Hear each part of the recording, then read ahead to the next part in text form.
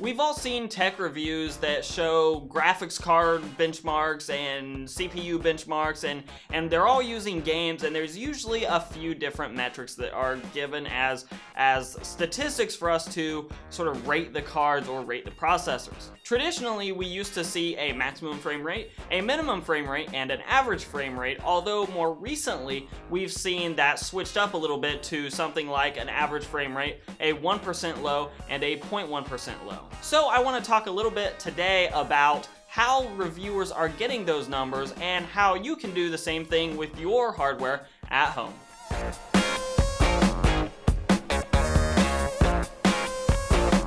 So before we hop into the software side of how reviewers get the minimum, maximum, average, 0.1 and 1% low frame rates for the reviews that you often see online, whether it be on YouTube or in articles, I do want to go over exactly what those metrics are. Now, obviously, the maximum frame rate is the individual maximum FPS that your uh, benchmarking software sees at any time throughout your benchmark. Now, that's probably not a great metric for seeing how well your hardware plays a game because one, it's not repeatable, and two, maybe you happen to load a menu at some point throughout your benchmark and your frame rate jumped to like a thousand, and then that suddenly becomes your maximum frame rate.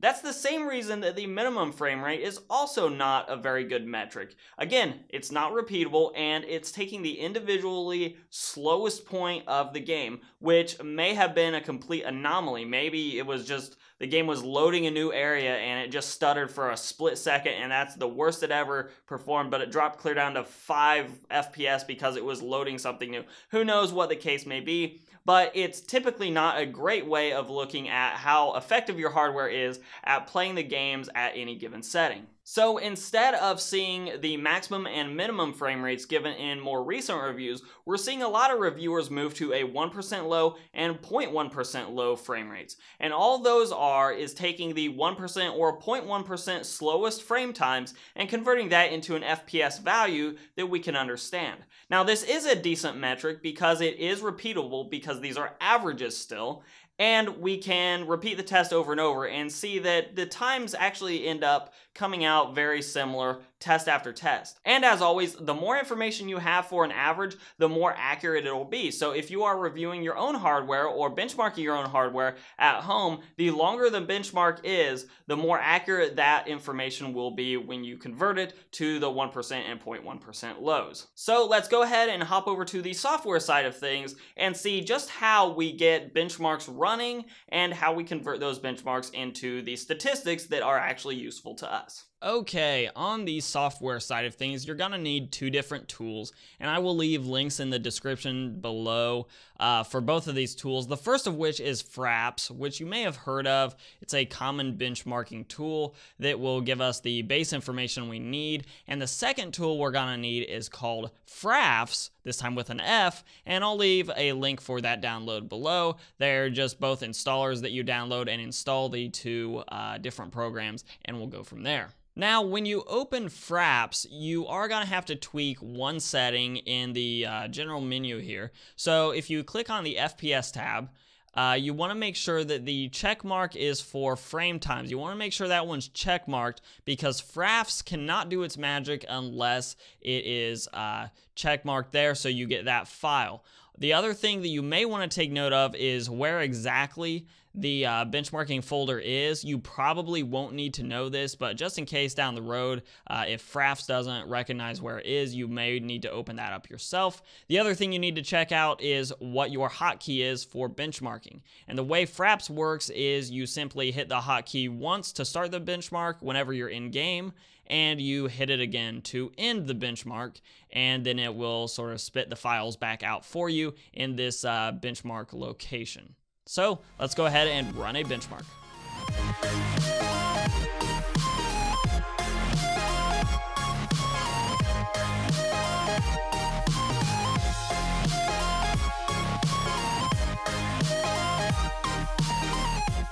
now that we have our benchmark ran, we can pull up Fraps again and click the view button next to the folder location to give us the location of uh, all of the files that were just generated, and these are all Excel documents. However, if you don't have Excel, you should be able to open them in other Office Suite applications. I would imagine I haven't tried it, but being Excel documents, you should be able to do that no problem. So if I want to click on the minimum, if I expand this, the minimum, maximum, and average uh, document, it'll show me that I ran 15,692 frames. It'll tell me in milliseconds how uh, long I ran the test for. Tells me my minimum frame rate of 56, my maximum was 83, and I averaged 71.51. Now, if I were using the old method of just minimum, maximum, and average, I would be done. And if that's all you're really interested in, you are done and you don't actually need the other application. If you do, however, you need to go ahead and open Frafs Bench Viewer.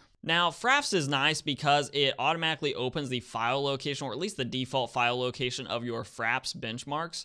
So if you didn't change that from the default, it should pop open. But again, if you did change it, you may need to go and hunt those files down yourself. So what Frafs wants you to do is drop the frametimes.csv file anywhere sort of in this big white area. So if I grab that frame times file, which is why you need to check frame times earlier and just drop it there, it now gives me the frame times in a graph of Overwatch and the entire benchmark run. Now, here's where the magic is sort of for tech reviewers in that Frafs will give you the average frame times converted to 72 FPS. It'll give you the 1% lows at 59 FPS and the 0.1% lows at 38 FPS.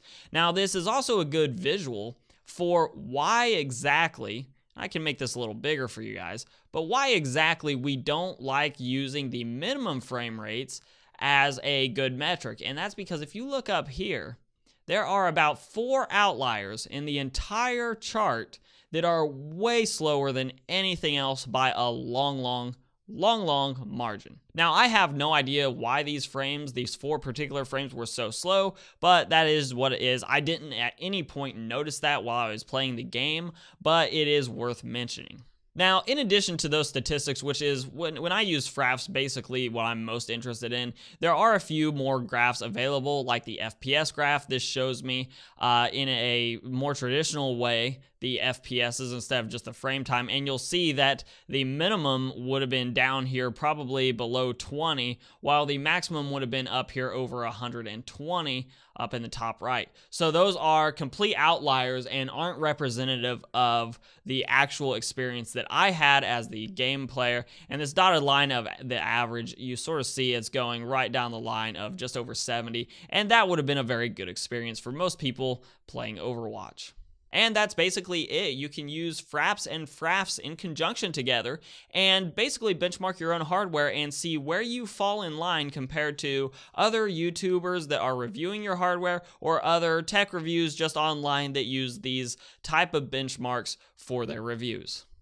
So hopefully you found all of this very informative. If you did, give this video a like, share, subscribe, comment, all those things down below help out a lot. You can follow me on Instagram and on Twitter at Hoosier Hardware. They are the same tag, so it is just so convenient for you. And as always, we'll let YouTube queue up a couple more videos from my channel. I'm Shane with Hoosier Hardware, and I'll see you guys in the next video.